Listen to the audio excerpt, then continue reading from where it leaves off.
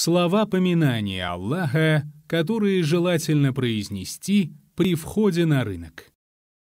«Ля иляха илляллаху вахдаху ля шарика ля, лахуль мульку ва лахуль хамд, юхьи ва юмит, ва хуа хайюн ля ямут, биядихи хайр, ва хуа аля кулли шейин кадир». Нет Бога, кроме одного лишь Аллаха, у которого нет сотоварища. Ему принадлежит власть и ему хвала. Он оживляет и умершвляет, а сам он живой, который не умрет. В деснице его благо, и он все может.